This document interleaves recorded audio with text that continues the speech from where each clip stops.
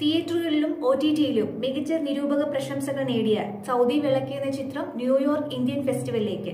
ചലച്ചിത്രോത്സവത്തിൽ official സെലക്ഷനായാണ് Saudi വെള്ളയ്ക്ക് തിരഞ്ഞെടുക്കപ്പെട്ടിരിക്കുന്നത്. ഇരുപത്തിമൂന്നാമത് ന്യൂയോർക്ക് ഇന്ത്യൻ ഫിലിം ഫെസ്റ്റിവലിൽ മത്സരിക്കാൻ മത്സര വിഭാഗത്തിലെത്തിയ ഇരുപത് ചിത്രങ്ങളിലെ ഏക മലയാള ചിത്രം കൂടിയാണ് സൗദി വെള്ളയ്ക്ക ഉർവശി തിയേറ്റേഴ്സിന്റെ ബാനറിൽ തൊണ്ടി മുതലും ദൃക്സാക്ഷിയും സത്യം പറഞ്ഞാൽ വിശ്വസിക്കുവോ തുടങ്ങിയ ഹിറ്റ് ചിത്രങ്ങളുടെ നിർമ്മാതാവായ സന്ദീപ് സേന നിർമ്മിച്ച സിനിമയാണ് സൗദി വെള്ളക്കാം സൂപ്പർ ഹിറ്റായ ഓപ്പറേഷൻ ജാവയ്ക്ക് ശേഷം തരുൺ മൂർത്തി എഴുതി സംവിധാനം ചെയ്ത സിനിമയുമാണ്. രാജ്യത്തെ കോടതികളിൽ കെട്ടിക്കിടക്കുന്ന ആയിരക്കണക്കിന് കേസുകളെയും അതിനു പിന്നാലെ നടന്നു തീരുന്ന ജീവിതങ്ങളെയും തനിമ ചോരാതെ അവതരിപ്പിച്ച് കയ്യടി നേടിയ ചിത്രമാണ് സൗദി വെള്ളയ്ക്ക.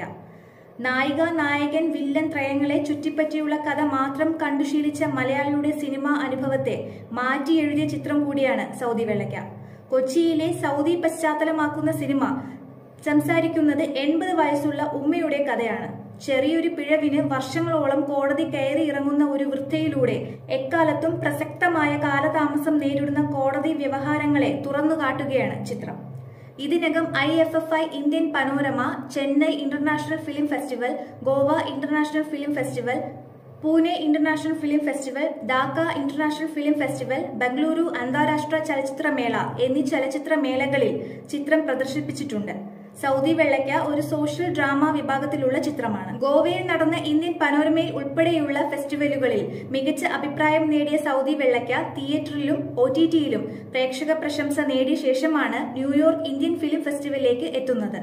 കൂടാതെ Indian പനോരമയിൽ I C F T UNESCO Gandhi medal അവാർഡിന് പരിഗണിച്ച മലയാള ചിത്രം കൂടിയാണ് സൗദി വെള്ള എ വി വർമ്മ ലുക്മാൻ അവറാൻ ബിനു പപ്പു ഗോകുലൻ തുടങ്ങിയവർ പ്രധാന വേഷം ചെയ്ത സൗദി വെള്ളയ്ക്കയുടെ ഛായാഗ്രഹണം.